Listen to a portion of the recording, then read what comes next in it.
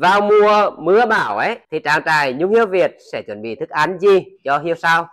Đây là câu hỏi mà được rất là nhiều bà con, khách hàng thắc mắc. Đó, mùa mưa thì việc mà chúng ta tìm kiếm thức ăn sẽ gặp khó khăn rất là nhiều, đúng không bạn? Và hôm nay thì Nhung Hiếu Việt sẽ chia sẻ cho bà con một trong những nguồn thức ăn mà cực kỳ đơn giản, hầu như trên đất nước Việt Nam đều có cả. Ok, xin mời mọi người nha. Giới thiệu về cả nhà mình nhá đây là cái chuối ở trang trại Nhung Hiếu Việt quỹ đất rất là rộng và phần đá thì mình sẽ trồng cái chuối như thế này các bạn ạ. Trồng cái chuối như thế này vào mùa mưa ấy, thì chỉ việc là thu hoạch cái chuối rồi rồi bóc vỏ như thế này. Bóc vỏ ra. Đấy bóc vỏ ra. Dùng máy xay mìn là hiếu sao đã có thức ăn rồi.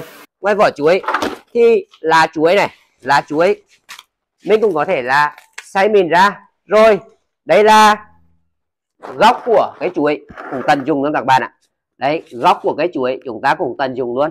Tất cả đây, chúng ta sẽ xay mìn. Dùng máy này xay mìn. Dùng máy xay mìn các bạn nhé dùng máy xay mìn. Tiếp đến nữa là chúng ta sẽ sử dụng sử dụng một chút cảm ngô hoặc cảm gạo. Khi mà chúng ta xay mìn thức ăn cái, ở cái chuối này rồi, thì chúng ta sẽ sử dụng cảm ngô cảm gạo chúng ta rắc rải cho hiếu sao? Để hiếu sao gọi là tăng thêm cái đồ khoái khẩu. Và hầu như thì vào mùa mưa thì đây là thức ăn chính của hiếu sao các bạn nhé. Rất là đơn giản luôn. Đấy 90 phần trăm ở trang trại nhung hiếu việt đều trồng cái chuối cả. Nguồn thức ăn là dễ trồng này rồi là dễ thu hoạch này ăn được quanh năm này. Và đây là một trong những món ăn khoái khẩu của hiếu sao. Ok một chút chia sẻ nhỏ của nhung hiếu việt về nguồn thức ăn ngày mưa bão. À, mọi người có câu hỏi gì thì cứ để lại ở dưới thông tin này. Bên uh, nhung hiếu việt sẽ chia sẻ cho mọi người nhé.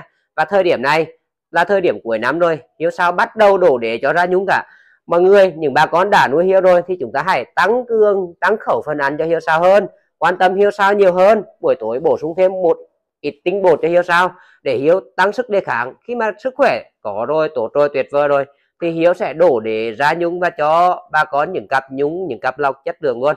Một lần nữa thì nhung hiếu việt xin cảm ơn cả nhà mình.